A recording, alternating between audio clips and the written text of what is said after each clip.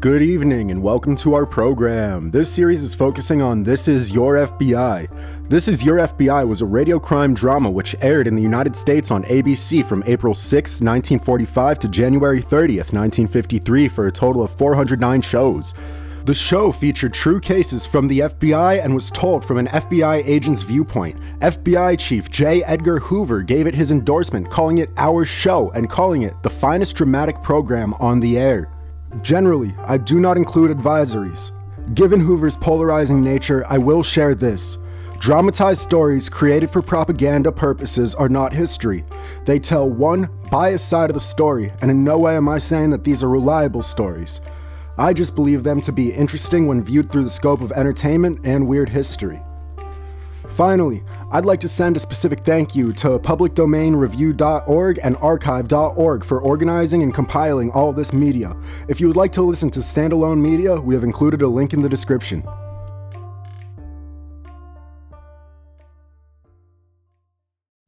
The Equitable Life Assurance Society presents This is Your FBI.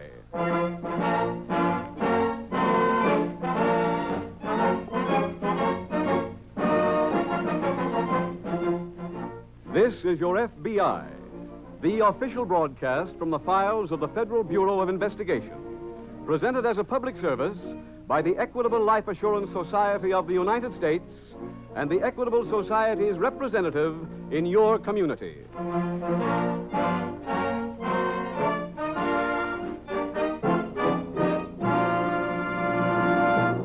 Tonight, while you're listening to this program, you might be called to the phone to answer an easy question.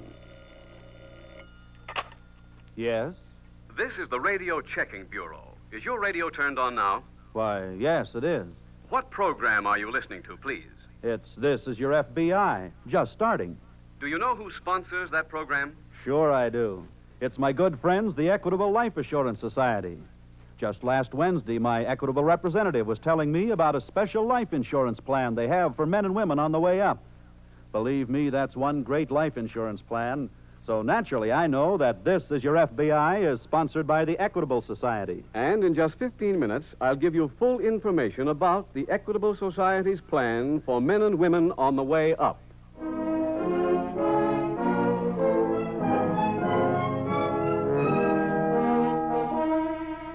Tonight's FBI file The Curious Patient.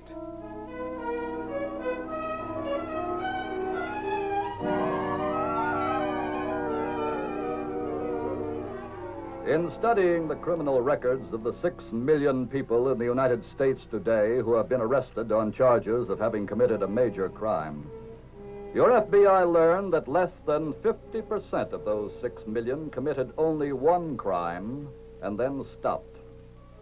That is true despite the fact that they were caught and punished for that first crime. Because in the commission of their second one, they were buoyed by the optimistic thought that they had learned enough by then to commit a crime and not be apprehended. No class of people are given to such undue optimism as the criminal, because optimism is necessary to feed his ego. And so he goes from crime to crime, committing grand larceny one day, kidnapping another day, and the next day, murder.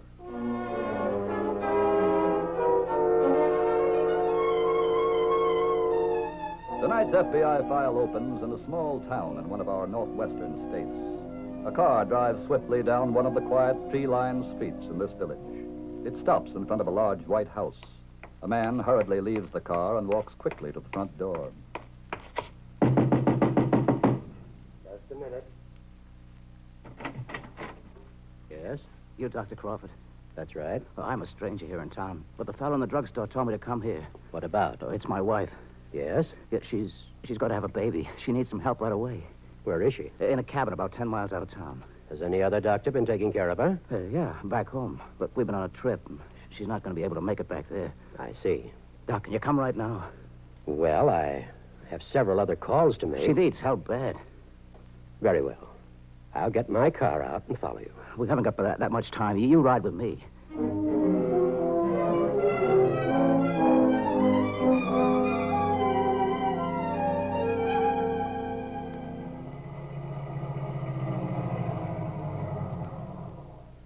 That's the cabin right there. You certainly picked an isolated spot. Well, you know what housing is. It's the only place we could find. Let's go. Surely. Is this your wife's first child? Yeah. Is there anyone else here with her? No, no, she's alone. Well, I may have to send you back to town to contact my nurse. Uh, anything you say, Doc. Here we are. Is That you, Whitey? Yeah, yeah, open up. Go ahead, Doc. Thank you. Is he a doctor? Yeah. We'd better get right to work. Is this the woman who's expecting a baby? No. But you said your wife was here alone. Doc, that whole wife routine was a phony. What? You've got a real job to do. What do you mean? There's a guy in the next room with three slugs in him, and you're going to fix him up. Whitey, you're wasting time. Okay, Doc, get to work. Now, see here, I didn't come out to I've this- got a gun, Doc. Do like I say. But you have no right. Look, the guy's in real bad shape, so get started. I better tell you this. If he kicks off, you go too.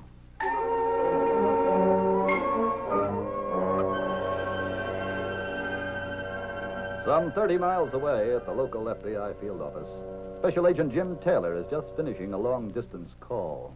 Yes. Yes, I see. Well, thanks a lot, Warden. I'll get down there right away. Goodbye. Calling it a day, Huh? Jim? Oh. No, Leo, I'm afraid my day is just starting. What? Yes, it was a call from the warden at the county jail. A prisoner broke out down there several hours ago. Who was he? A man named George Brooks. What was he in for? He'd just been convicted on a big payroll job. Over $40,000 was stolen. Was that the one down at Salem? Yes, that's the one. Oh, I remember it. Brooks worked with a partner. The partner was killed. That's it. As I recall it, the money was never recovered. No, Brooks evidently managed to hide it away at some point before he was apprehended. Hmm, That's probably the reason for his breaking out. Yes, I know. Now, why were we called in, Jim? Well, we have a detainer on him. And it's important that we find him, too. Uh, did you get any details on the jailbreak? No, not much. The only thing the warden told me on the phone was that he was sure Brooks was wounded by one of the guards. Have the state police been alerted? Yes, all authorities have been notified. They've already set up an extensive roadblock. Leo, I'm going down there now. I'll give you a more complete story when I return.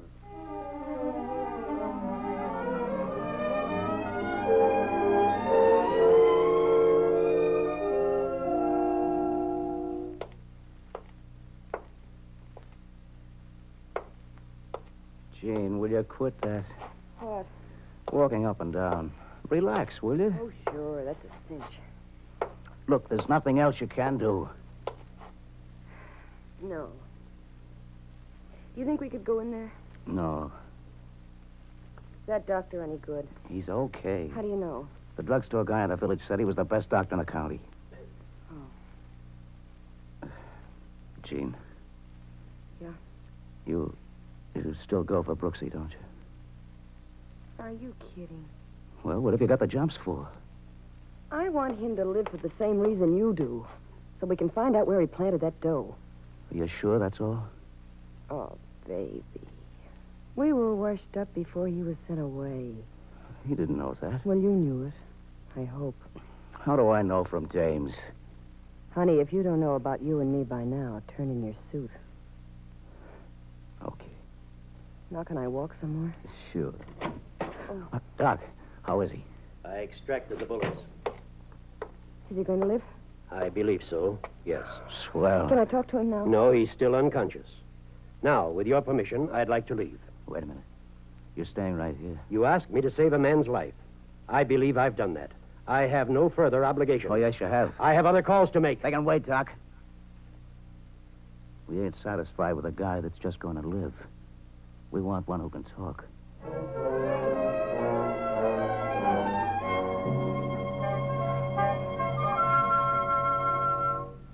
Are you still here, Leo? Oh, yes, Jim. I'm working nights this week. Oh? How did you make out? Well, I picked up a number of details on the jailbreak, but Brooks is still at large. How'd he make the break? Well, the warden said he had a woman visit him last week. She was his girlfriend. Her name is Jean Dodge. Yeah? It's believed that she managed to pass him a gun. He used that gun to subdue a guard, then used the guard as cover and managed to get through the front gate. Yeah, just like that. That's it. As soon as he was outside, the guard eluded him and immediately gave the alarm. There was some shooting, but Brooks got away. And that's the last that was seen of him? Yes, but his trail was picked up. He headed through a patch of woods, and judging from the bloodstains that were found along the way, he must have been rather severely wounded. Well, surprising then that he escaped. Well, he had a car waiting for him. Tire tracks were found showing where it had parked, and his trail led right to it. The car got away before the roadblock took effect. I'm not so sure of that. What do you mean? I have an idea there was a hideout all ready for him not too far from the jail. Why do you think so? Well, Leo, that's sparsely settled country. There's not many roads. And less than a half an hour after the break, every car was stopped within a 50 mile radius. Oh, I see. And there's another factor that may help. If Brooks was badly wounded, he's going to need medical attention and fast. So the warden's Uh, wait a minute, Jim. What? Something came in a little while ago that ties right up with this. Oh, what is it? There's a doctor missing over in Quincy. Really? What's the story? Well, his wife reported it. A stranger came to their house about 6 o'clock this evening and told the doctor his wife was going to have a baby. They left in the man's car, and the doctor hasn't been heard from since. Did his wife see this man? No, she was in another room. She just overheard the conversation. Well, did she know where they went? No. I'd better get all the details from her at once.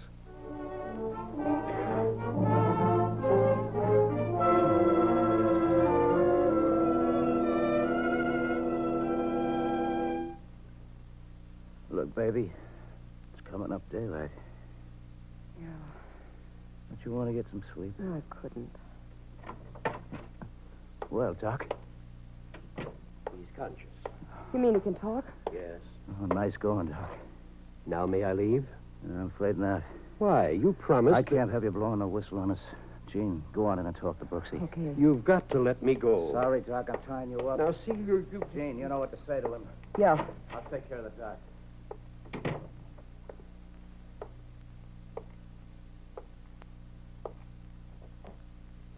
Hello, darling. Oh. Hello, Jean. Don't move, honey. Just lie still. Okay. You want anything? No, no, no. George, Yeah. I think I know you pretty well. What you like and what you don't like.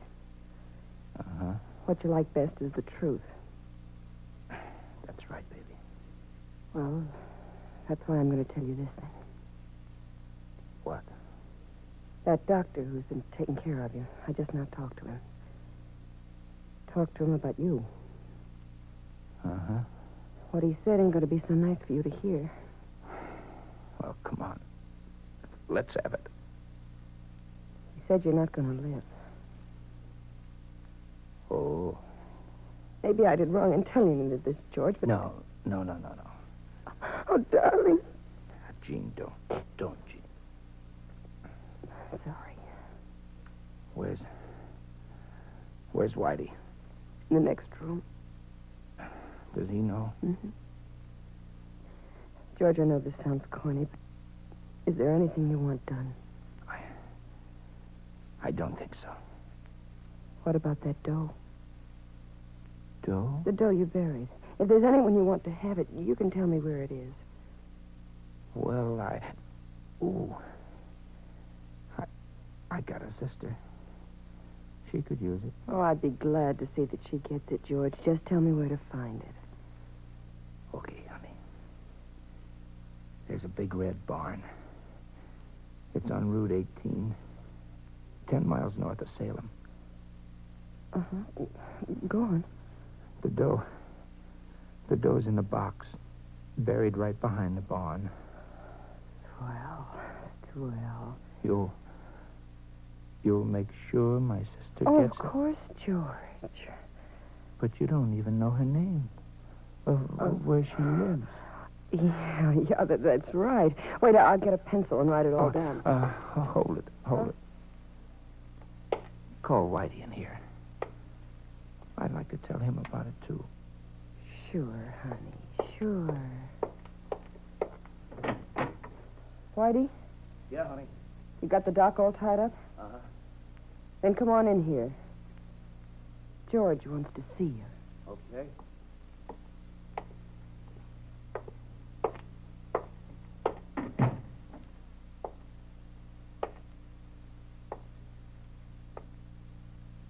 Hello, George. Hello, Whitey. Jean told you, huh? Yeah, Tough going, kid. Whitey. There's. There's something I want to tell you. Go right ahead, George. I. I told Jean where I buried the dough. Good. But it was a bum steer. What? What do you mean? I just wanted to see how far you phonies would go. George. Just stay where you are, the both of you. No, no, wait a minute. Put down that gun. Look, you.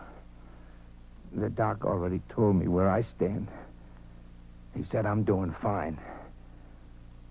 What's more, I know what you two are up to. What are you talking about? I got the word when I was away about both of you. Those were lies. No, no. Waddy, no. look out. Too late, baby.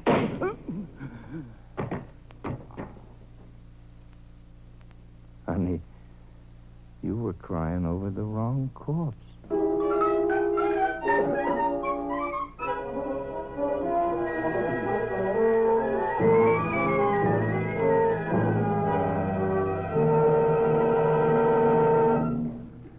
We will reopen tonight's FBI file in just a moment. Now, a special message to men and women on the way up. To men who are confident that one of these days the boss will be calling them into his office to say, Well, Joe, we like the way you've taken hold here, so we're going to promote you to Jenkins's old job. Of course, that means a substantial increase in salary, too. Did you know that there is a special life insurance plan for men like that? For men who expect to be filling a bigger job and earning more money five years from now than they are today? It's the Equitable Life Assurance Society plan for men and women on the way up. Maybe I'm kidding myself, but I think that means me. So how about telling me a little bit more? Well, this Equitable Society plan for men on the way up has three major advantages. First, it gives you and your family needed protection right now. Second, this Equitable plan provides for readjustments in the future. Five years from now, when you're making more money, you can make up your mind whether you want more protection or bigger cash values. Or you may decide to work out a retirement program. Third, this equitable plan is flexible at all times, can expand or contract as you see fit. Sounds okay so far, Mr. Keating. How can I get the whole story? Demonstrate that you consider yourself on the way up by getting in touch with your Equitable Society representative and asking him about this plan. Phone him as soon as possible or send a postcard care of this station to the Equitable Society. That's E Q U I T A B L E. The Equitable Life Assurance Society of the United States.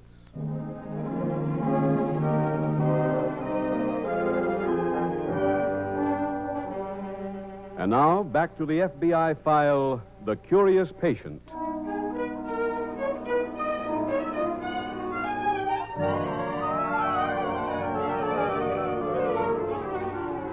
It was the immortal Bobby Burns who first said that the best laid plans of mice and men oft go awry.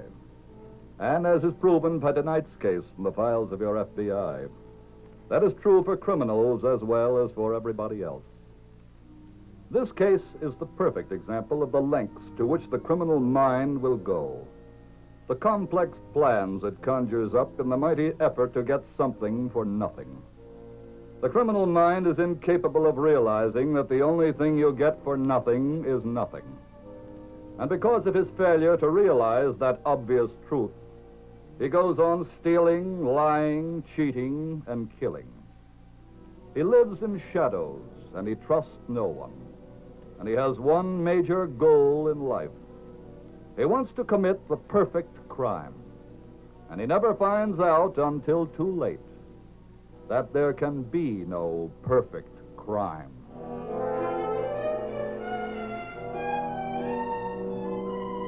The night's file continues at the local FBI field office.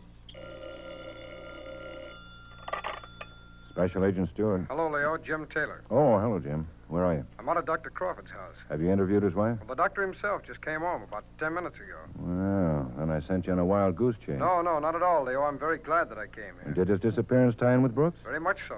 He was taken to a cabin where Brooks was hiding out. Oh, I see. The man who brought him there threatened him with a gun, made him take care of Brooks's wounds. After he patched him up, the doctor was then bound and thrown into a closet. Well, how'd he get away? Well, there was a fight.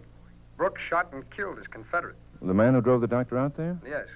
Then Brooks and his girl, who was also there, left the cabin and drove away. Well, how did Brooks manage to move? I thought he was badly wounded. Well, the girl practically carried him out.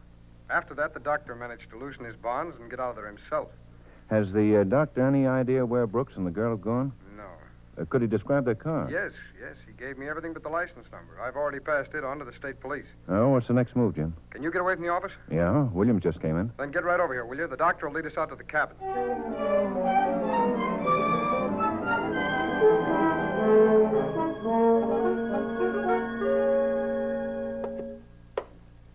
Doctor, is this the room that Brooks was in? That's right, Mr. Taylor.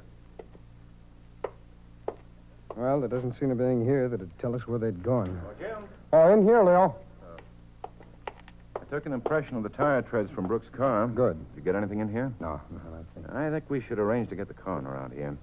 If we get the bullet from the dead man's body, it might be helpful to us. Oh, Leo, I just remembered. I think I know who that man is. Really? Yes. Uh, doctor, you say they called him Whitey? Yes. Well, I think I recall a petty thief called Whitey Floyd. There was a wanted circular on him. I looked at it just last week. We'll check on it as soon as we get back to the office. Right. Gentlemen, I wish I could have been more helpful to you. My doctor, after what you've been through, we appreciate your even coming out here. I wish they'd been careless enough, Doctor, to let you overhear where they were going. Say, wait. There was one thing. I heard that man Brooks say, I don't think it means very much. Oh, what was it? He remarked that they'd only travel at night to lessen their chances of being found. Hmm, I see. Jim, they undoubtedly have a specific destination. Oh, yes. I think I can guess where it is. Oh, where? The place that Brooks hid the money he took on the payroll job. Hmm. And all we have to do is to find where he hid it. Yeah. Well, Doctor, Yes? Can you recall anything else that Brooks said? Anything at all, no matter how unimportant? Well, I. I didn't get much chance to talk to him. As soon as he regained consciousness, I was tied up. Well, did he say anything to you at all? Uh, let me see. He did speak once, but not to me. Oh, what do you mean, sir? Just as he was regaining consciousness, he mumbled something about R.I.P., beloved wife, Abigail. R.I.P., beloved wife, Abigail. Yes, he repeated it twice. Well, that's really cryptic.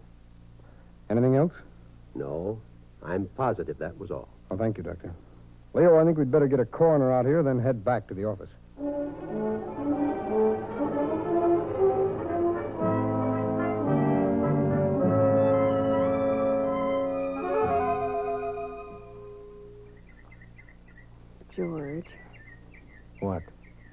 Don't you think you should try to get some sleep? No, Why not? I don't trust you. Oh, look, do we have to go over that whole thing again? I wasn't double crossing you with Whitey. Mm. He made me tell that story about you dying. He said if I didn't do it, he'd. He, he, he'd kill me. No kidding. Look, you gotta believe me. Stop yelling, will you? We parked this car out here in the woods to avoid people, not attract them. I'm sorry. George, What is it? if you feel like you do about me, if you still think I was handing you one, why didn't you shoot me, too? Because I needed you. Honest, honey? Just to drive the car. If I could move myself, you wouldn't be here. Hmm. I also need you to dig up that dough. We're really gonna get it? Yeah. Oh, what's so funny? what a checker game this is. What do you mean? You're still alive because somebody's got to dig up that dough for me. I'm still alive because you wouldn't dare to slug me until I get that dough. what a setup. George, that's not true, and you know it. No. Wait till you get your hot little hands on that money box. Then what a rat race that'll be. Oh, stop it. Look, how much longer do we have to park here? As soon as it gets dark, sweetheart, we're on our way.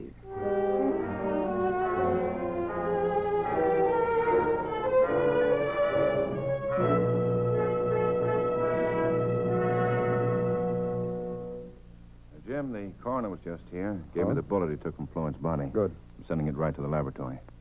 Oh, any word from the state police on Brooks? No, nothing yet. Hmm, how are you making out? Well, I've been going through Brooks's complete record. So far, I've only come up with one thing out of his past. What's that? Well, as far as I can tell, he isn't married, never has been. Well, then who was his beloved wife, Abigail? And that remains a mystery. Well, what's that file you're reading? Oh, this is a complete report on the payroll sticker. Oh, well, you go right ahead. I'll go downstairs. Wait, What is it? there's a description of how and where the police apprehended Brooks. Well, I think it clears up the identity of Abigail. Really, Jim? Yes, and if he travels as night, as the doctor heard him say, I think we can catch up with him this evening.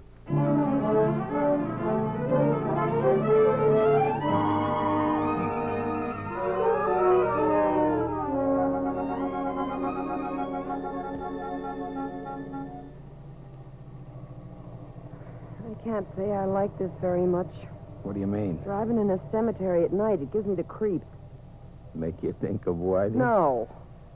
Turn left here, here. Okay. Now what?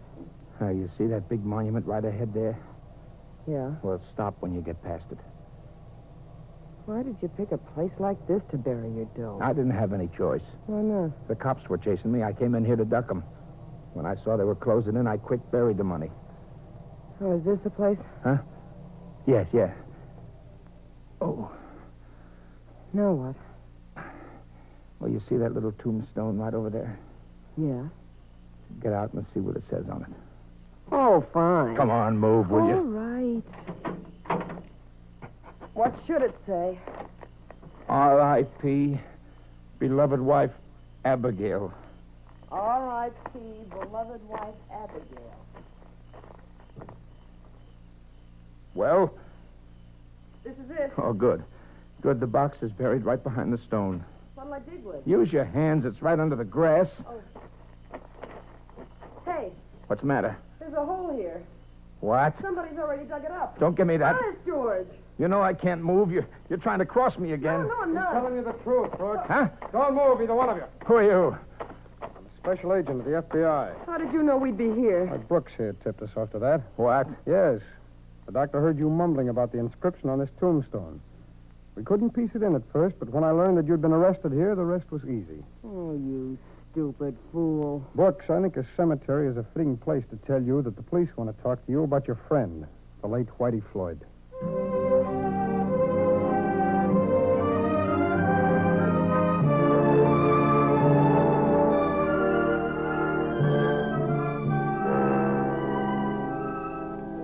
George Brooks was turned over to the local authorities.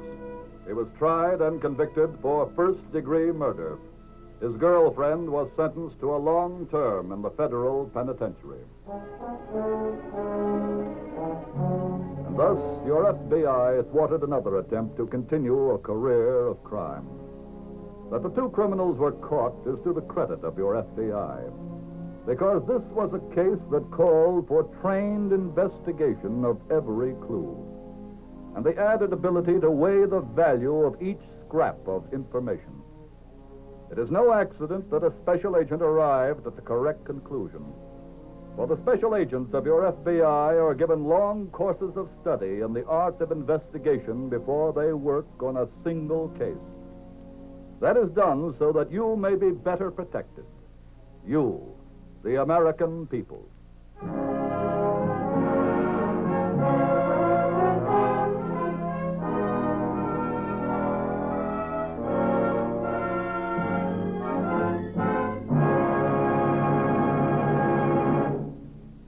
Just a moment, we will tell you about next week's exciting case from the files of your FBI. If you are what President Thomas I. Parkinson of the Equitable Society describes as a man with faith in his own future and the future of America, then you'll surely want to learn more about the Equitable Society plan for men on the way up. Exactly how much will this plan cost me? The Equitable Man has the answer. How much protection does it give me right now? Your Equitable representative can work that out in two minutes. Does this plan offer me desirable options? You bet it does.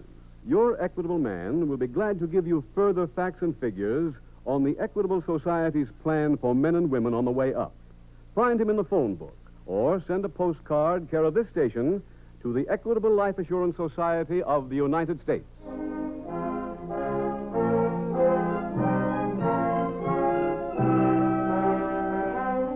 Next week, we will bring you another colorful story from the files of the Federal Bureau of Investigation The Juvenile Shakedown.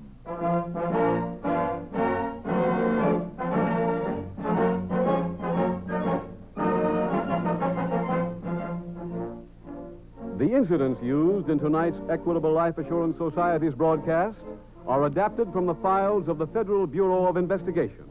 However, all names used are fictitious, and any similarity thereof to the names of persons living or dead is accidental. Tonight, the music was composed and conducted by Frederick Steiner. Your narrator was Dean Carlton, and Special Agent Taylor was played by Stacy Harris. This is Your FBI is a Jerry Devine production. This is Larry Keating speaking for the Equitable Life Assurance Society of the United States and the Equitable Society's representative in your community. And inviting you to tune in again next week at the same time when the Equitable Life Assurance Society will bring you another thrilling story from the files of the Federal Bureau of Investigation. The Juvenile Shakedown on This Is Your FBI. This is ABC, the American Broadcasting Company. The Equitable Life Assurance Society presents This is Your FBI.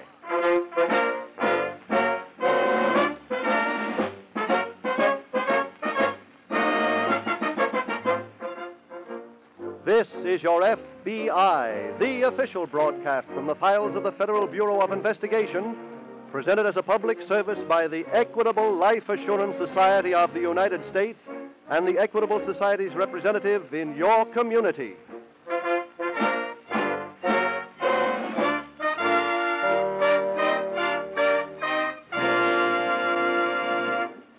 In a few minutes, someone may telephone your home to ask you a question.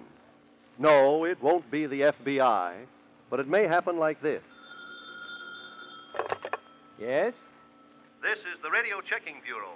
Is your radio turned on now? Why, uh, yes, it is. What program are you listening to, please? It's This Is Your FBI, just starting. Do you know who sponsors that program? Sure, I do. My good friends, the Equitable Life Assurance Society. But just last Wednesday, my Equitable representative was telling me about a special life insurance plan for men and women on the way up. That's a great life insurance plan.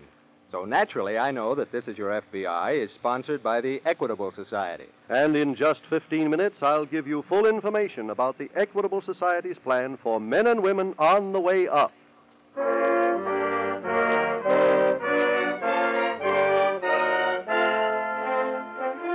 Tonight's FBI file The Used Baby Racket.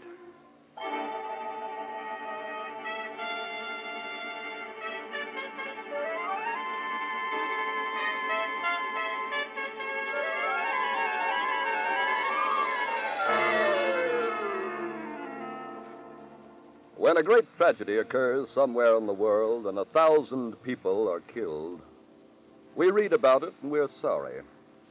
But actually, we do not understand what we're reading. Because it's impossible for the human mind to picture a thousand people being killed at one time. But if we hear about one man being burned to death in a fire, we cringe.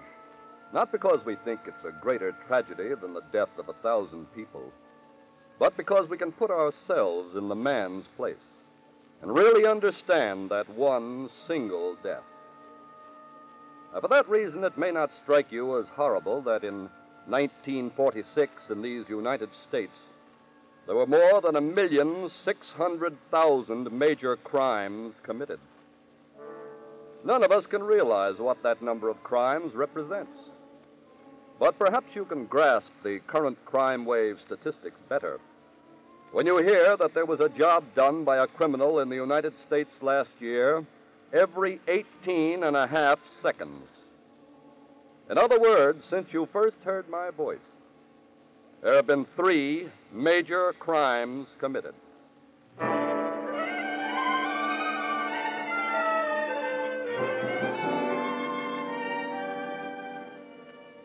Tonight's file opens in a sloppy two room apartment on New York's East Side.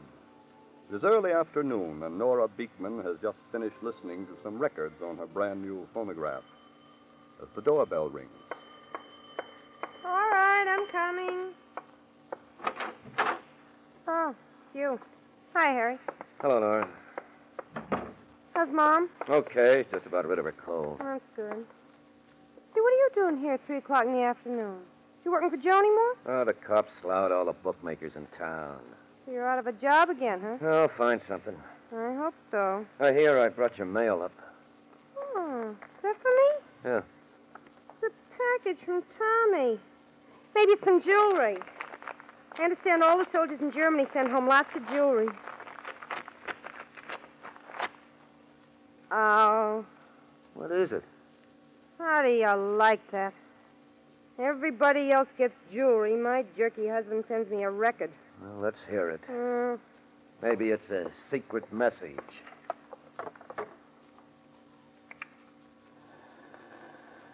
Hello? Hello, darling.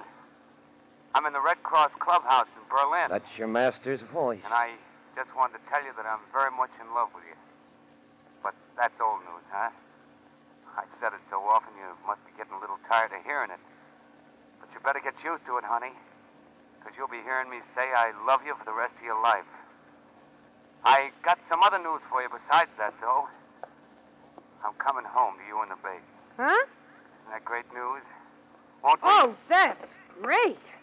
He's coming home. Well, what's wrong with that, Nora? Nothing, nothing at all, except he's coming home to me and the baby. So? So, do you see a baby anyplace around here? Hey, you're right. Where is Sonny? I met a woman in the park one day a couple of weeks ago. Thought Sonny looked so cute in the carriage. Yeah. She told me she couldn't have a baby herself, and she was trying to adopt Well, a lot of rich people do that. Well, they told her that she'd have to wait a year before she could adopt a baby. What's this got to do with Sonny? I sold him to her. You what? I sold her the baby for a thousand dollars. Oh, Well, I don't care about that. Now I got to have a baby to show Tommy when he gets here. yeah. I see what you mean.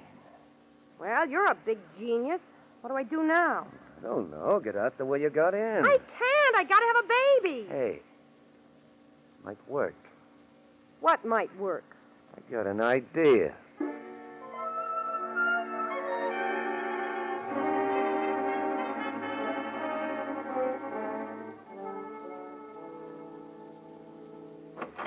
Yes, Is this the residence of Mrs. Martin Schuyler? that's right. Are you Mrs. Schuyler? Yes, I am. Well, Mrs. Schuyler, I'm from the FBI. The, F- the FBI? Well, what do you want here? May I come in, Mrs. Schuyler? Oh, oh, yes, I'm sorry. Please do. Oh, thanks. Uh, sit down anywhere, Mr. Uh, Uh, Hanover is my name, Mrs. Schuyler. Why are you here, Mr. Hanover? I'll get right to the point. Mrs. Schuyler, you bought a baby three weeks ago. Well, how did you. I don't understand how that concerns you, Mr. Hanover. Unfortunately for you, it does concern the FBI. Oh, That baby was kidnapped. kidnapped? But I, I bought Yes, it from... I know what you're going to say. You bought it from the baby's mother. Yes, that's right. But she wasn't the child's mother. Oh, she was the baby's nurse. Her nurse. That's right, Mrs. Scott. The girl confessed everything. That's how we got your name and address. Now, there are two things that you can do. What are they? You can give me the child, and I'll return it to the parents, and no one will ever know a thing about it. I see. Or you can have the girl put in jail by fighting the case. In that event, of course, there would be a lot of publicity. Oh, no, no, no. I, I don't want any publicity in this matter. Well, I think you're being very smart, Mrs. Schuyler. This way, no one will ever know that this whole thing happened. Yes, it's much better that way. I'll get the baby for you now. Yes, if you will. Uh, incidentally, what happens to my thousand dollars? Afraid there's no way of recovering that, Mrs. Schuyler. Nurse spent that money immediately after getting it. I see. And now, may I please have the child? It's getting late for the baby to be up, and I promised I'd see to it that it slept in its own bed. Yes, of course. Well, come along. The baby's room is down the hall.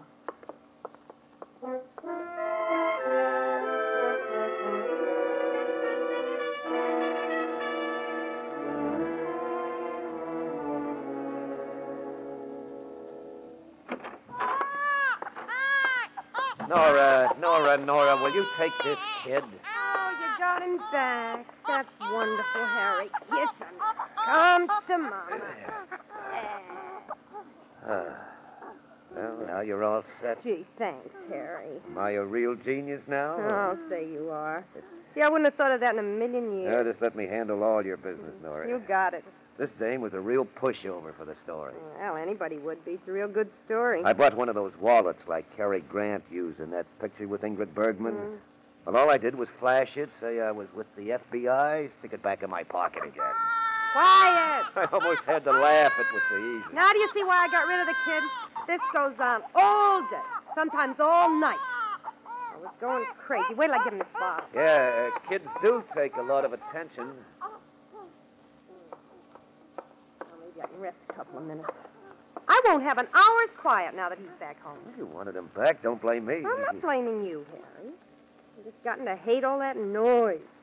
Having to stay home every night, changing his diapers, making his formula. When's uh, Tommy coming back, Nora? Oh, I played the rest of the record while you were gone. He just said soon, no date. Well, uh, how'd you like to get another thousand for Sonny? How can I? I just told you. Tommy's coming home. Besides, I just met that Mrs. Schuyler by accident. What do you want me to do? Put a sign on the baby carriage saying this baby is for sale, $1,000? Whoa, hold it for a second. A friend of mine, his old man's a janitor in one of those orphan places. What about it? Think he'd want to buy Sonny? No, no, no, no, no. But the orphan place is getting letters all the time from people just looking for kids to adopt. So? So we have the old geezer steal some of the letters. That'll be our sucker list. Harry, that sounds like a wonderful idea. Okay. I'll get in touch with the guy tomorrow. Then we start peddling the kid again.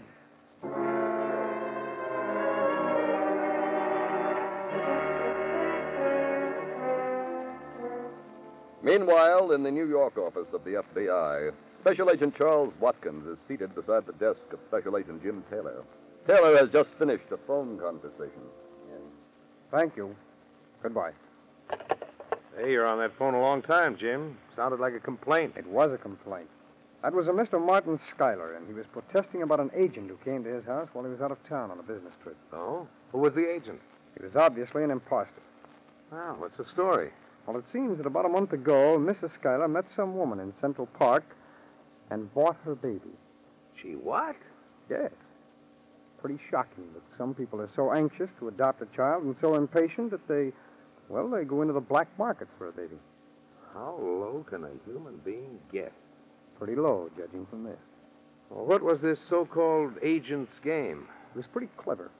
He told Mrs. Schuyler that the baby had been kidnapped and that the FBI would return the baby to its real home without any publicity. Which suited Mrs. Schuyler fine, I suppose. Oh, naturally. Oh, she was sorry about having to give up the child, but according to Mr. Schuyler, she was happy that there wouldn't be anything in the papers about it. You know, Jim, I should feel sorry for the Schuylers, but I really don't. No, neither do I. To a great extent, they got what was coming to them. But that doesn't catch the criminals. Exactly. And that's our job. Well, Jim, what's the first move? Well, I guess the first thing to do is go out and see the Schuylers.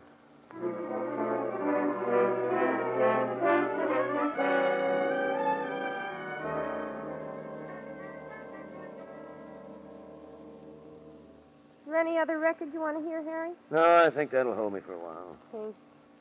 Don't you just love that phonograph? Yeah, yeah, real good machine. I bought it with part of that first thousand dollars I got for Sonny. Yeah. Uh, what was the name of the people you, you, you sold the kid to this time? Uh, Mr. and Mrs. Paul Buchanan. Oh, yeah. yeah. Plenty of dough, huh? Loaded. She gave me the thousand like it was a buck. She's going to keep calling the baby Sonny. Oh, that's nice. She asked me what to call him, so I told her that even though the baby's name was Thomas Beekman Jr., I always called him Sonny. Hey, you told her the kid's right name? Yeah, why? Well, I hate to break this news to you suddenly, but you know what we're doing is frowned upon by the police. Yeah, I know. So what? So giving your right name to people you clipped is one way that they can check on you. Oh, don't be silly. Last woman didn't check, did she?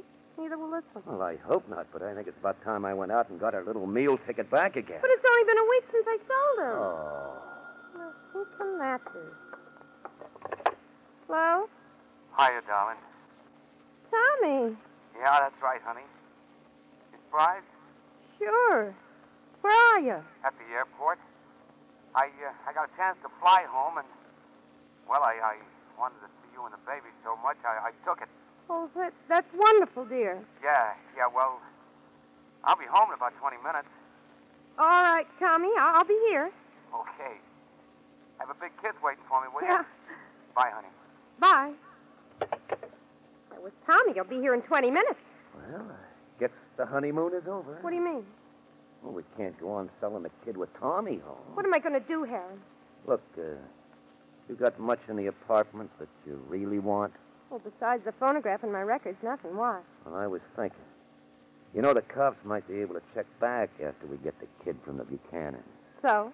So why don't we just keep going? And if they do check back, let them check with Tommy.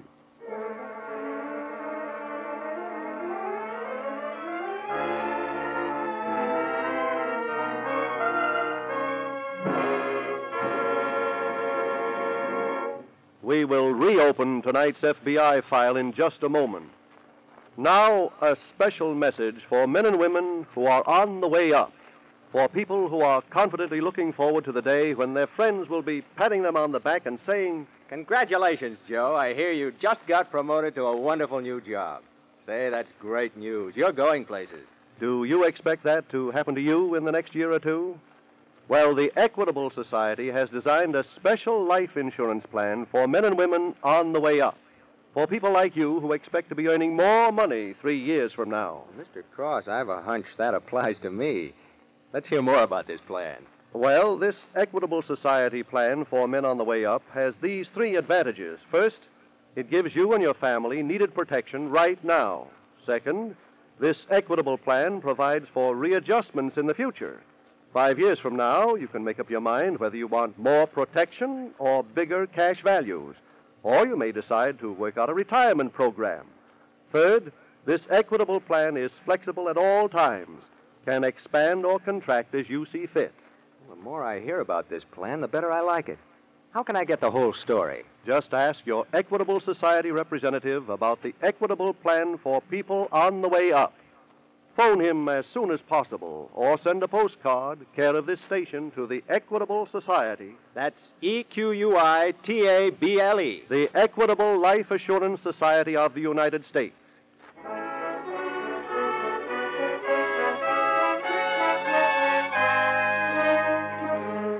And now back to the FBI file the used baby racket.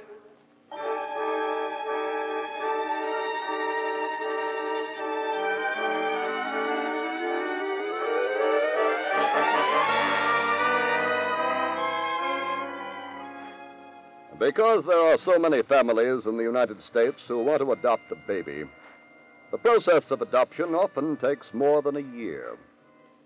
And if you are one of those whose name is on a waiting list, do yourself and your prospective child a favor and wait until your name is called. Do not patronize the black market in babies. For as tonight's case in the files of your FBI proves, if you go into the black market, you are leaving yourself open to the depraved minds of criminals. In addition to that, you are trafficking in human beings, and thus you make yourself a criminal.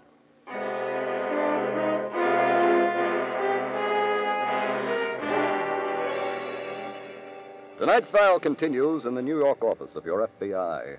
Special Agent Jim Taylor has just returned from investigating a complaint. He finds Special Agent Watkins waiting for him. Hello, Charlie. Hi, Jim. Anybody call while I was out? No, Jim, not a thing. What's the story at the Buchanan's? They followed almost exactly the same procedure there as they did in the Schuyler case. The man posed as an FBI agent again. huh? That's right.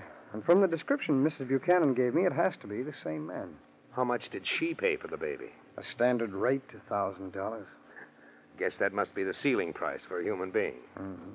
However, Mrs. Buchanan was at least a little smarter than the first customer. How do you figure that? When the impostor arrived and said he was from the FBI, and that he wanted to return the baby to its rightful parents, Mrs. Buchanan said that she didn't believe him. When she refused to give up the baby. Well, she said she wanted to call the FBI to check whether or not he was a legitimate agent. What happened then? He slugged her, then locked her in a closet.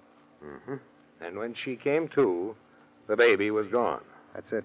But we have more to work on this time than we did after Mrs. Schuyler was swindled. Oh, in what way? Well, for one thing, Mrs. Buchanan found out the right name of the child.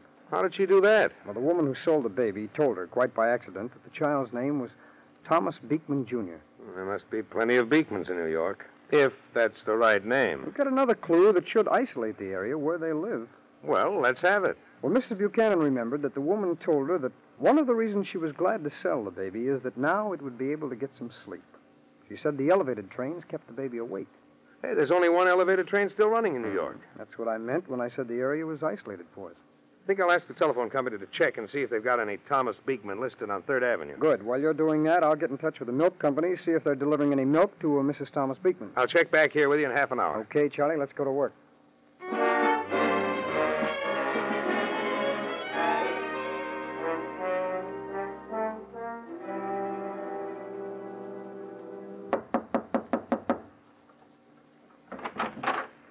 Your name Thomas Beekman? Yeah, that's right. But who are you? I'm from the FBI, Mr. Beekman. Here are my credentials. From the FBI. And something has happened to my wife and baby. Where are they? Uh, calm down, Mr. Beekman. May I come in? Yeah, yeah, sure, sure. Come on in. Thanks. I've been going crazy waiting. I was just going to phone the police. I see you're in uniform, Mr. Beekman. Yeah, yeah, that's right. I'm still in the service. I just got back from Germany today. What ship did you come back on? No ship. I, I flew back. What's the matter? Don't you believe me? Yes, I think I do, Mr. Beekman. You don't in the least resemble the man I'm looking for. A man you're looking for. Here?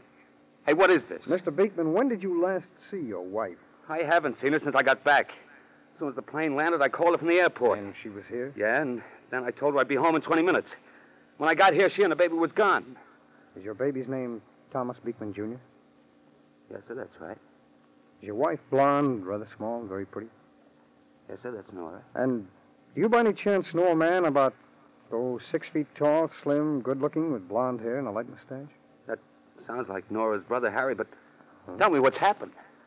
Well, well, this is rather difficult to tell you, but. Uh, well, Mr. Beekman, your wife and her brother have gone into the business of selling your baby.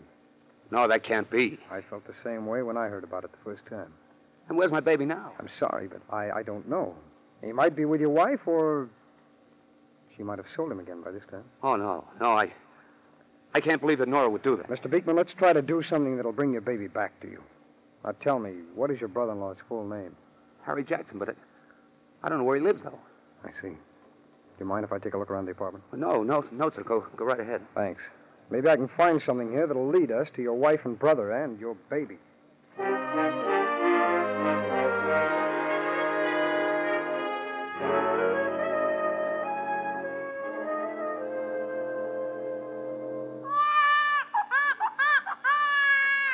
Nora, give that kid a bottle or anything that'll keep him quiet. Now you see what I used to go through. Uh. Here, Sonny, drink this. Funny, isn't it? What's funny? You give a baby a bottle and he stops making noise. You give a grown up a bottle and that's when he starts making noise. That's funny? Sorry, it amused me. Sarcastic with me. Oh, shut up. You're getting on my nerves. I'll get on your nerves even more if I don't do anything but sit around this apartment all day and all night. Relax. The only thing that can spoil everything now is we get caught by the cops. We'll stay under cover for a week or so, and then you can go out and call on the next sucker. But do you think it's safe here? Why don't we get out of New York? Look, all the names on our sucker list are right here in New York. If we leave town, we got to get another list. But how do you know we're safe in this apartment? It belongs to a legitimate friend of mine who went to South America. He won't be back till June. Okay. You're the genius. How many times do you think we can sell Sonny before your friend gets back? Well, how do I know? We'll sell him as many times as we can.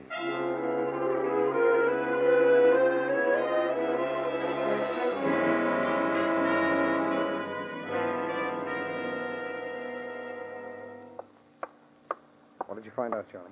Well, Jim, I waited over at the office of that pediatrician that used to treat the Beekman child. Yeah. But he said he hadn't heard from Mrs. Beekman in three weeks. Oh, I didn't suppose she'd take too good a care of the baby. Oh, I left our number with him. He'll call us if he does hear from her. Oh, good. I assume you didn't have any luck either. No, none at all. You remember I found that bottle of medicine in the bathroom cabinet at the Beekman? Yeah, the one that said take as directed? That's the one. Well, I called the drugstore, gave them the number of the prescription. They told me what it was, but they said that lots of babies take those pills. They're just vitamin pills. Jim, there must be some clue as to where they went. Well, I hope there is, but I can't think of what it would be. All we know is they're probably still somewhere in New York. Yeah, every check we've made would seem to indicate they are. But what makes you so sure they still got the baby with them? Jackson went back to the Buchanan apartment to get the child, didn't he? If he didn't want it, he wouldn't have done that. Yeah, I guess you're right, Jim. Well, maybe the police will come up with a clue. They've sent out an alarm. Every policeman in the city is looking for them. That should keep them from moving around very much. Yes. As long as they have the baby with them, they'll be staying home nights taking care of it. You can be sure of that. Charlie, why didn't I think of that before? Think of what? Hand me that phone. I've got an idea.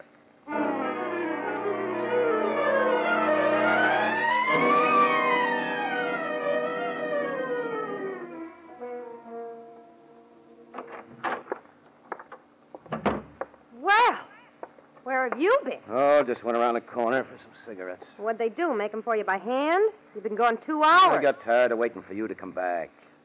Got tired of waiting for me. Oh, I know it takes time, Nora. I just needed some cigarettes. Is that a crime or something? Okay, okay, okay. How'd you make out with Mrs. Atwater? She's going to buy some. How much? She was wearing a brand new mink coat, so I jacked up the price. We got fifteen hundred this time. Good for you. I need her tomorrow morning at eleven. She said she'd pay for Sonny in cash. Hey, who can that be? I don't know. Oh, maybe it's one of George's friends who doesn't know he's out of town. Good afternoon. Mrs. Beekman here. Mrs. Who are you? I'm from the FBI. Here are my credentials. And these are genuine, Mr. Jackson. How do you know my name, and what do you do? Step back, Jackson. Let me come in. Who is it, Harry? It's the FBI, Mrs. Beekman. Well, I'm glad to see your child asleep in the carriage. I was afraid you might have sold him again before we got here. Say, G man, tell me one thing, will you? What do you want to know? How'd you find us here? We were almost stymied until I remembered that all babies need one thing What's that? Diapers. So I called every diaper service in New York. One of them told me that Mrs. Beekman had moved, and they gave me this new address. And uh, speaking of addresses, Mrs. Beekman, I have an idea you and your brother will have the same address for some time to come prison.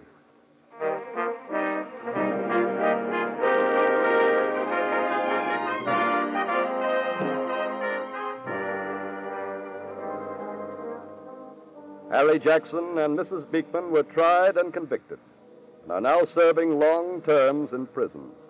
When they finish, Jackson will serve an additional five years in a federal penitentiary for having impersonated a member of the FBI. And in that manner, the sordid criminal careers of two inhuman people were brought to a finish by your FBI. Tonight's case from the files is indicative of one thing, and that is that there are no depths to which the criminal is incapable of sinking in the commission of a crime. There are no bounds of decency which the criminal recognizes. And in his own tortured mind, there's nothing wrong in stealing from someone who is not quite as cunning as he is. Only the shrewd deserve to survive, is his motto. But what he never realizes until too late is that the forces of law and order are shrewd and cunning themselves. And, like your FBI, utterly relentless.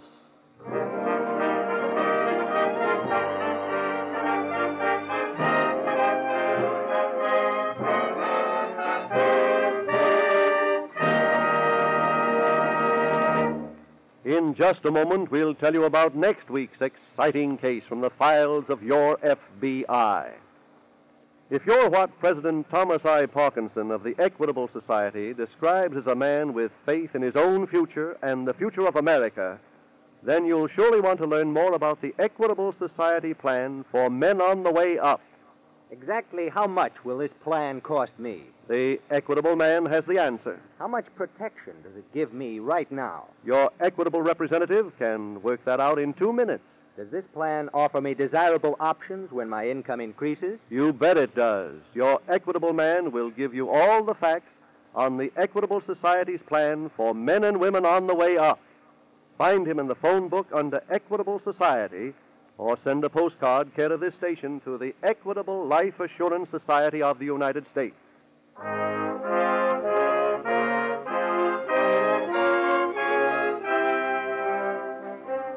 Next week, we will bring you another colorful story from the files of the Federal Bureau of Investigation The Curious Patient.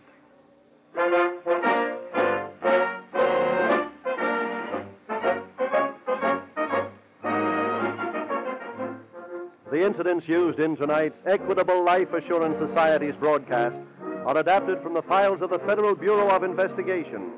However, all names used are fictitious, and any similarity thereof to the names of persons living or dead is accidental. Tonight's broadcast was directed by William M. Sweet. The music was composed by Frederick Steiner. The author was Jerry D. Lewis, and your narrator was Dean Carlton. This is Your FBI is a Jerry Devine production. This is Milton Cross speaking for the Equitable Life Assurance Society of the United States and the Equitable Society's representative in your community, and inviting you to tune in again next week at this same time when the Equitable Life Assurance Society will bring you another thrilling story from the files of the Federal Bureau of Investigation. The Curious Patient on This Is Your FBI. This is ABC, the American Broadcasting Company. The Equitable Life Assurance Society presents This is Your FBI.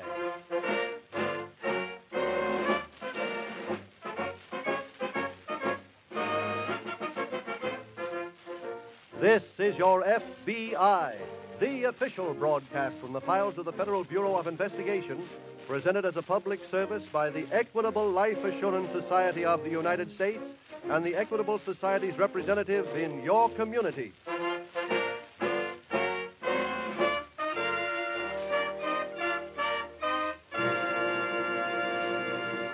Tonight, while you're listening to this program, your telephone may ring.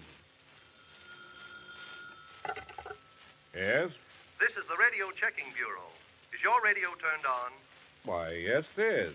What program are you listening to, please? It's This is Your FBI, just starting. Do you know who sponsors that program? Uh, sure I do. It's my good friends, the Equitable Life Assurance Society. Just last Wednesday, my Equitable representative told me about a special life insurance plan for men on the way up. Believe me, that's a great idea. So naturally, I know that This is Your FBI is sponsored by the Equitable Society. And in 15 minutes, I'll give you full information about the Equitable Society's plan for men and women on the way up.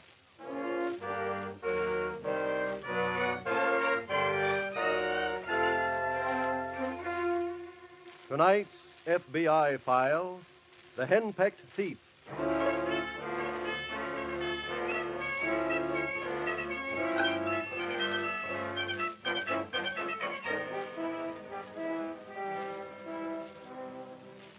Crime as a business is in the midst of a great boom at the moment, with more than 5,000 major crimes being committed in the United States every day.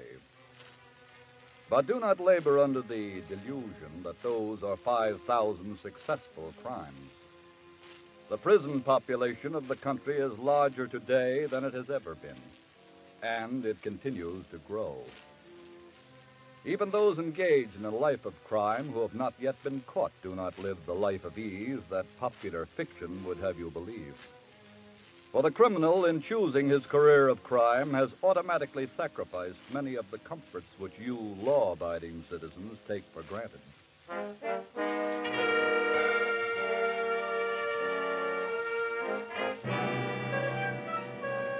Tonight's file opens in a small apartment located in the residential section of San Francisco. One of the occupants of the flat, Phyllis West, is just answering the front door. Hello, Phyllis. Oh, hello, Mom. Come on in. Thanks. I was doing some shopping in the neighborhood. I said I'd drop by and see you. Gee, I'm glad you did. Where's that husband of yours?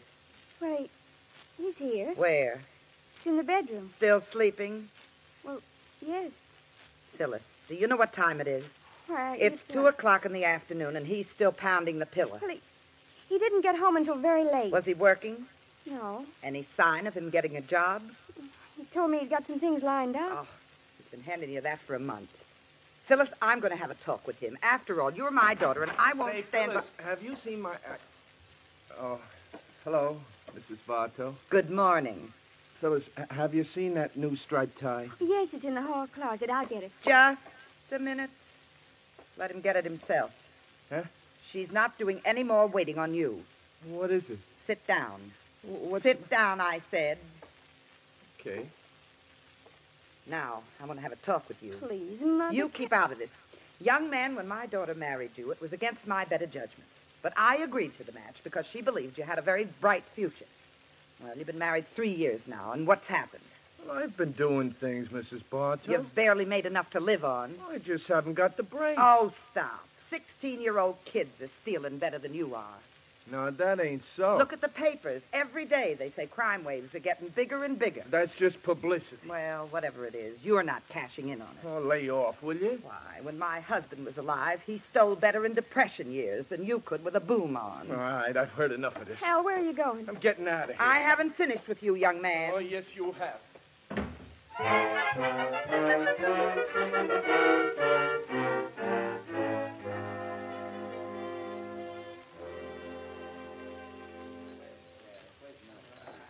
Bartender. Hey, bartender. Hello, Al. Huh? Oh, hello, Duke. Sit down. Thanks. Hey, where's that bartender? He's busy loading in some ice. I need some whiskey, Duke. You seem to be doing okay now, Al. Oh, I'm just getting started, boy. What are you celebrating? Uh, this ain't a celebration. It's a wake. What's wrong? Everything. Can't be that bad. Duke, I, I've just been thinking about something. Want to hear it? Sure, why not? Years ago, way, way back when I was a kid, I lived with my uncle. That's on account of my mother and father were dead. Uh-huh. Well, my uncle was a nice enough guy, strictly a nine to five character, you know, legit. Yeah. I guess I'd still be with him if it wasn't for one thing. What's that? He had a stupid wife and a mean mother-in-law. I figured, well, there you are. That's what happens to legits. So I ran away and became a thief. I see. Figured I'd, I'd get action, you know, high living, all that stuff. Mm-hmm. I've been a thief for over ten years, and what have I got to show for it, huh? Stupid wife, mean mother-in-law. You do need a drink. That's where I'll buy you one as soon as the bartender gets back. Look, Duke. Duke, do you happen to know my mother-in-law? Oh, yes. What a nagger, huh? I remember her when her husband was alive. She is a forceful woman. All the time she's at me to do something big. Gotta have to, me to be a star or something. Gee, I, I, I make out all right, Duke. I crack as good as safe as any guy in the business. Just haven't got the breaks, that's all. Well, I'm glad I ran into you. Why? You may be just the man I'm looking for. What do you mean? I've got a job lined up. It's a real big job. One that would actually make your mother-in-law proud of you. No kidding, Duke. Mm-hmm. What's the setup? Yeah, let's get a drink at the bar. Then we'll go someplace private and talk.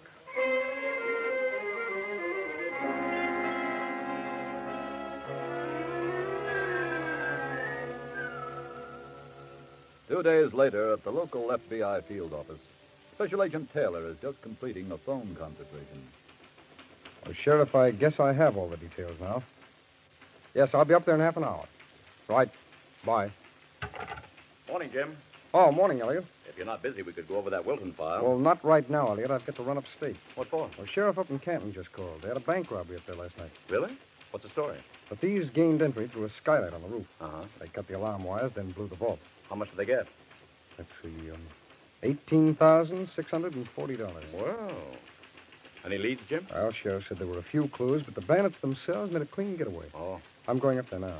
Uh, can I do anything for you here at this end? Nothing that I know of now. I'll be in touch with you later.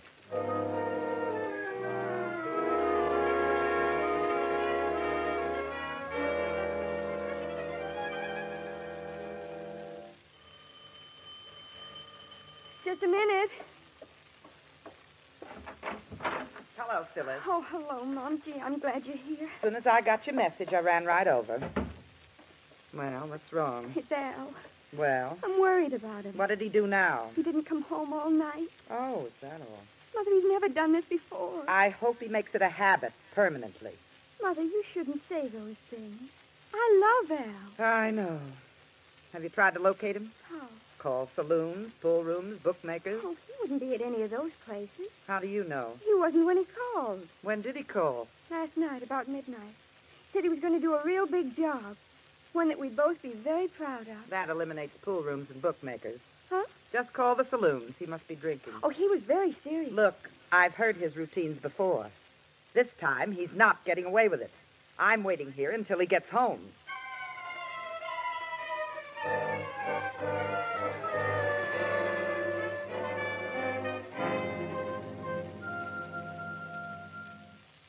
Hiya, Jim. Oh, hello, Ellis. When'd you get back? Just a few minutes ago. How'd you make out up there? Well, I didn't come up with anything definite on the identity of the bank robbers, but I did get a couple of fairly good leads. What are they? It appears that two men did the job.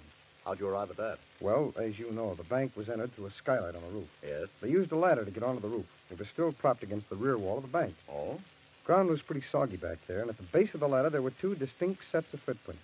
Did you take an impression of them? Yes, casted there on my desk. Oh, yes. I also measured the strides. The laboratory should be able to give us the approximate weight and height of the men. What else did you get? Well, apparently only one of the men climbed the ladder. There was only one set of muddy footprints on the roof. The other man acted as a lookout? Evidently. This first man broke the skylight glass to gain entry. Oh, I found this piece of material. It could have been torn from his coat. It was caught on the broken glass. Any fingerprints, Jim? Yes, I picked up several distinct prints in the skylight. They're in that envelope there. What'd you get inside the bank? Well, the cracksman muffled the safe before he blew it open, but that won't be much help to us. Why not? He used army blankets, and they're on sale now to the general public, so they'd be pretty difficult to trace. Well, Jim, it looks as if you've got everything but the bandits themselves. I'm hoping the laboratory will fill that in for us.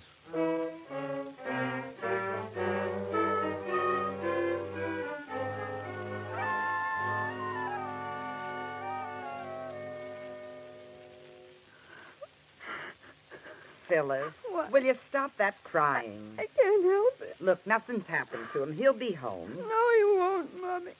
I'm sure of it now. Al's left Oh, me. don't be ridiculous. I know he has.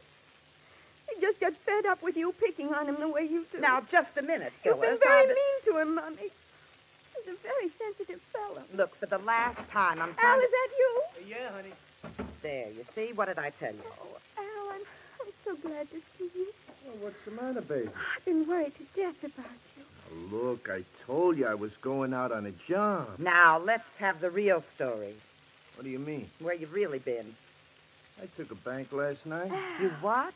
Done a bank job, knocked off 18000 I don't believe it. No? Take a look. This morning's paper right here, front page. Let me see. Baby, right here. See? Well, daring upstate bank robbery. Uh-huh. Let me look. First National Bank of Canton was robbed last night of over $18,000. Daring bandits gain entry through skylight. Daring bandit, that's oh, it. Al, that's wonderful. Well, what have you got to say, Mrs. Bartow? I'm stunned. That should sort of make you change your mind about me now, huh? Of course, doesn't it, Mommy? Well, I... You were all the time at me to do something big. Is that big enough for you? Yes, I guess it is. Okay. Baby, I'm hungry. Oh, you must be. Well, how about fixing me some food? I'd like a little attention around here. Mrs. Bartow. Yes. Uh, Get out in the kitchen. Give your daughter a hand. oh, yes, of course I... Hey, wait a minute. Well, You say you got $18,000 for the job. that's right. Where is it? Getting it tomorrow. Your what? Well, the guy I'd done the job with took it back to his hotel. See, some of it was in securities. He's taken them to a fence. I don't believe it. I'll call his hotel and prove it. Hello? Did you get me to Central Hotel? Who is this guy you done the job with? Uh, Duke Shelton. Duke Shelton. Yeah, that's right. Duke Shelton. Oh, you stupid. You let him take all the money? Yeah, why? He's the biggest double crosser in the business. Oh, you're crazy. Duke. Duke Shelton is off. Of Hello. all the people. Hello, Duke Mr. Shelton. Shelton. Mother, how do you know about this, Mr. Shelton? He pulled the same deal on your father years ago. Hello? Huh? Are you sure? Al, what is it? You checked out.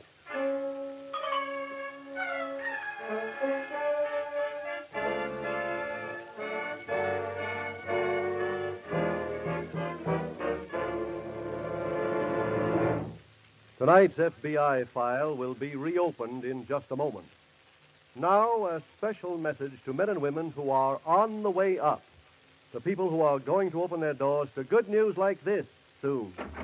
Hey, Mary, I got a raise, a big one. We're going places. If you're that kind of person, bound and determined to get ahead, then be sure to investigate the Equitable Society's special life insurance plan for men and women on the way up. A plan for people of all ages who expect to be earning more money three years from now. You mean that the Equitable Society takes my chances of future success into consideration? It certainly does. The Equitable Society's plan for men on the way up has these three advantages. First, it gives you and your family needed protection right now. Second, this equitable plan provides for readjustments in the future. Five years from now, when you're making more money, you can make up your mind whether you want more protection or bigger cash values. Or you may decide to work out a retirement program. Third, this equitable plan is flexible at all times, can expand or contract as you see fit. That sounds like a smart plan to me.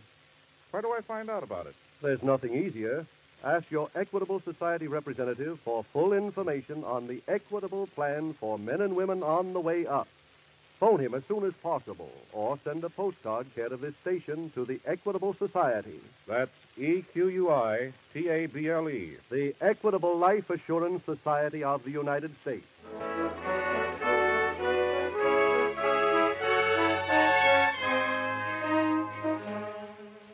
And now back to the FBI file The Henpecked Thief.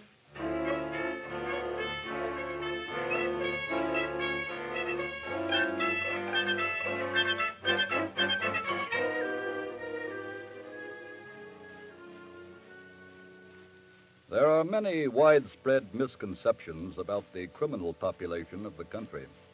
A population numbering close to six million people. Some of those misconceptions are that all criminals are stupid people who have had no educational advantages. Another is that there is a criminal type who can be recognized and is distinguishable from the honest, law abiding citizen. And perhaps the most widespread incorrect notion is that they are loyal to each other. The bromide words it, there is honor among thieves. As can be seen from tonight's case from the files of your FBI, nothing could be further from the truth. No criminal has any loyalty to another criminal for one basic reason. His mind is incapable of understanding the rudiments of loyalty. Above the mythical coat of arms of every criminal is a motto which reads, It's every man for himself.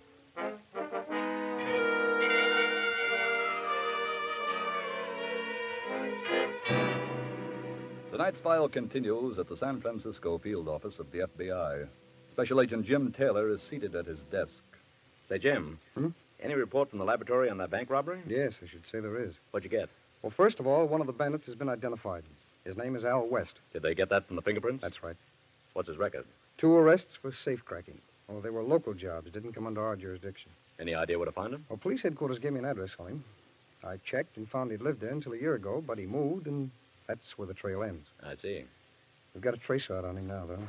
What about the second man? Well, the only identification we have on him is the one that the laboratory reconstructed. How? Well, judging by the depth of his footprint, the length of his stride, he was a big man.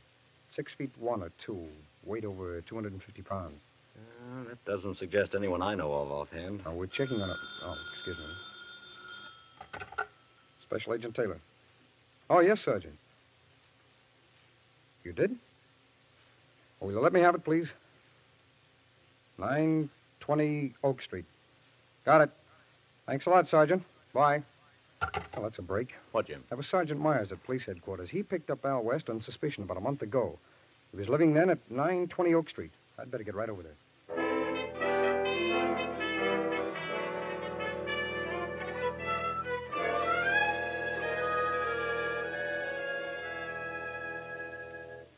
Al, What?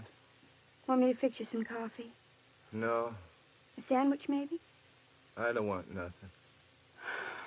I wish you wouldn't act this way. Oh, baby, I feel awful. I figured at last I, I'd done something big. Something even your mother'd be proud of. Oh, she's really got me nailed now. She understands. I'm sure she does. Well, then why didn't she let me go over to Duke Shelton's hotel? Why did she have to go? She's handled these things before, Al. She knows better what to do. Well, I could find out where he's gone as good as she could. Well, maybe. Look, are you rooting against me, too? Oh, of course not. Well, then why do you have... Oh, is that you, Mom? Yes. How'd you make out? Well, I had to spread a little dough around, but I finally got a line on where Shelton's gone. Who from? Guy at the transportation desk. I slipped him 20 bucks, and he told me that Duke had bought a plane ticket to Los Angeles. Oh, that's a break. Los Angeles, that's a big place. That don't tell us much. If we could find out one thing, it could tell us plenty. What's that? Is there a racetrack open down there? Yeah, sure. That's all we need to know. Why? I know Duke Shelton, Every time he's ever made a score, he's fed it right back to the horses. Well, that don't say he'll do it this time. Young man, once a horse player, always a horse player. We're flying to Los Angeles.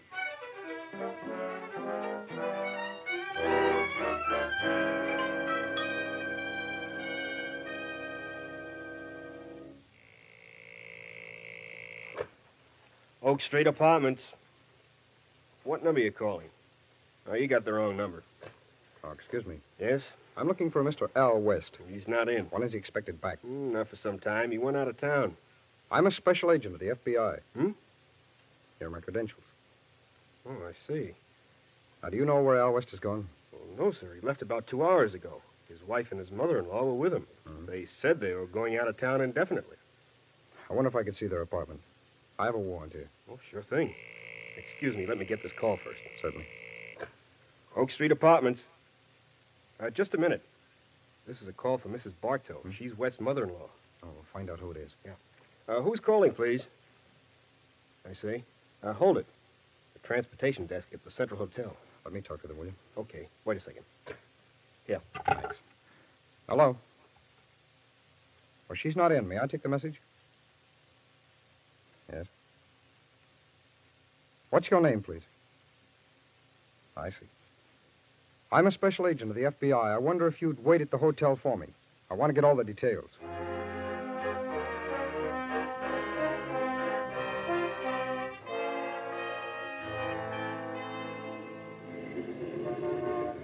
Well, Elliot, over here. Oh, fine.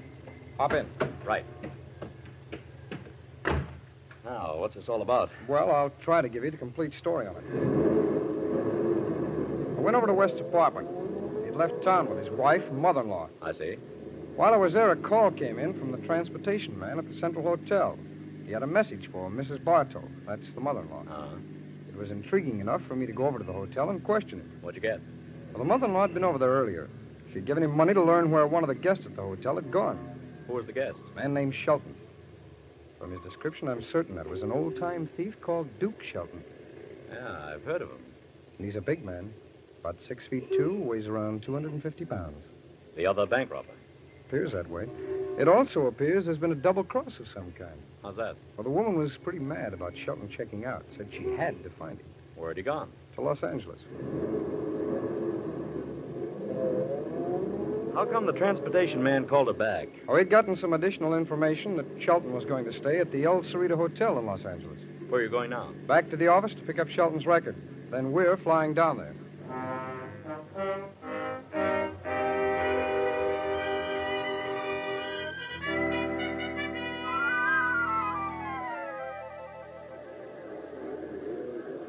Phyllis!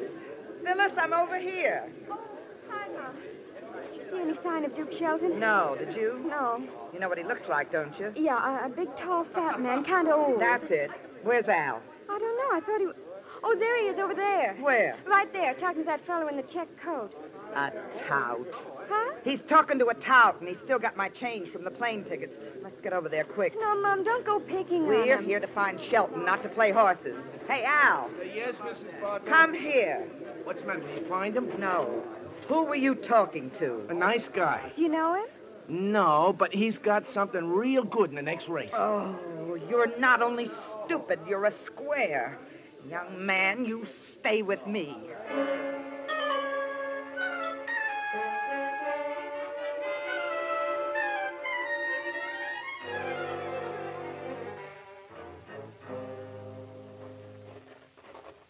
How'd you make out, Jim? I just spoke to the desk clerk. Yes? He said that Shelton came here to the El Cerrito about 1 o'clock, but he didn't like the room they showed him, so he decided not to check in. What about West? Did he show up? No, no, but I didn't expect he would. All he and his family knew about Shelton was that he had come to Los Angeles. They didn't get the information that he was on his way to this hotel. Did the clerk have any idea where Shelton went? Yes, he hired a car to go to the racetrack. Let's see. It's after four o'clock now. We hmm. could just about make it before the last race. Yes. Well, It'll be like looking for a needle in a haystack, but let's go.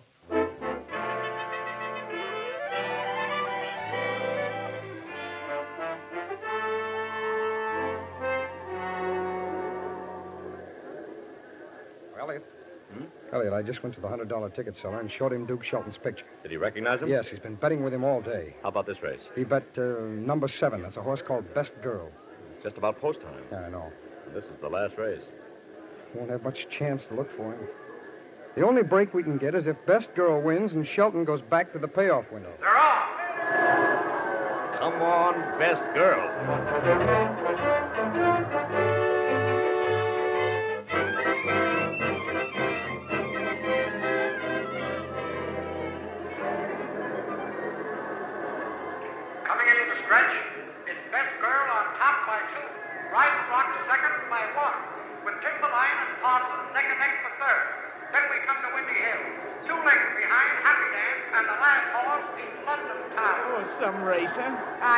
I'm not interested. Oh, come on, Timberline. Hey, what are you rooting for? Get up there, Timberline. Did you bet on Come him? on, Timberline. Timberline. Timberline. Oh, how do you like that? Best girl winners. I asked you, did you bet on that Timberline? Yeah. Oh, I'm gonna murder that bum in the check coat. That was my money. Oh, shut up. What? I- You I can't- mean- Mother, I think I found Huh? him. That man over there going under the stairs. Is that him? Yeah, sure, that's Shelton. Come on. Oh, I gotta hand it to you, Mrs. Bartow. You had the right idea. I knew he'd come here. Hey, look. Look, he's going to the $100 cashier window. He's had a winner. He must still have the dough. Yeah, let's nail him right now. Okay. Oh. Hello there, Duke. What? Duke, you remember my mother-in-law. What are you doing here? I've come to collect. I've come to collect too, Shelton. Who are you? A special agent of the FBI. Mother. We're getting out of here. Here we are, all of you. Hey, what is this? Well, finding you here too, West, I'd say we've hit the daily double.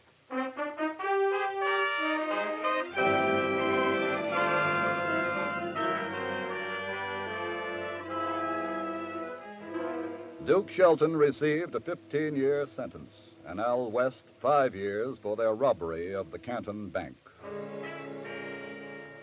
Thus, your FBI was able to close another file and write the word convicted upon the face of it. The fact that these criminals were caught is not the important thing to you unless you happen to own a bank.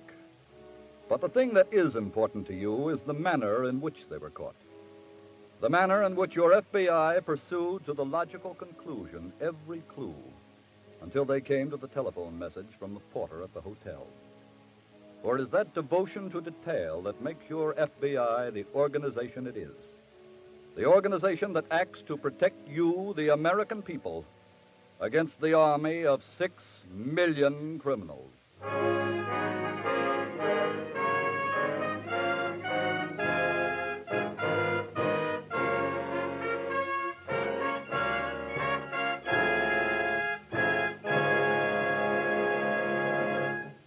In just a moment, we will tell you about next week's exciting case from the files of your FBI. If you're what President Thomas I. Parkinson of the Equitable Society describes as a man with faith in his own future and the future of America, then you'll surely want to learn more about the Equitable Society plan for men on the way up. Exactly how much will this plan cost me? The Equitable Man has the answer. How much protection does it give me right now? Your Equitable representative can work that out in two minutes. Does this plan offer me desirable options? You bet it does. Your Equitable Man will be glad to give you further facts and figures on the Equitable Society's plan for men and women on the way up. Find him in the phone book under Equitable Society or send a postcard care of this station to the Equitable Life Assurance Society of the United States.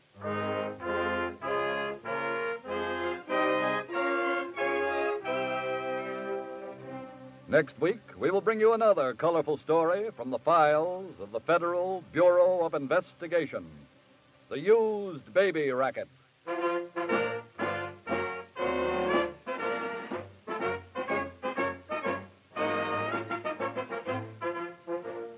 The incidents used in tonight's Equitable Life Assurance Society's broadcast are adapted from the files of the Federal Bureau of Investigation. However, all names used are fictitious, and any similarity thereof to the names of persons living or dead is accidental. Tonight, the music was composed and conducted by Frederick Steiner. Your narrator was Dean Carleton. This is your FBI, is a Jerry Devine production. This is Milton Cross speaking for the Equitable Life Assurance Society of the United States and the Equitable Society's representative in your community, and inviting you to tune in again next week at this same time when the Equitable Life Assurance Society will bring you another thrilling story from the files of the Federal Bureau of Investigation the used baby racket on This Is Your FBI. This is ABC, the American Broadcasting Company.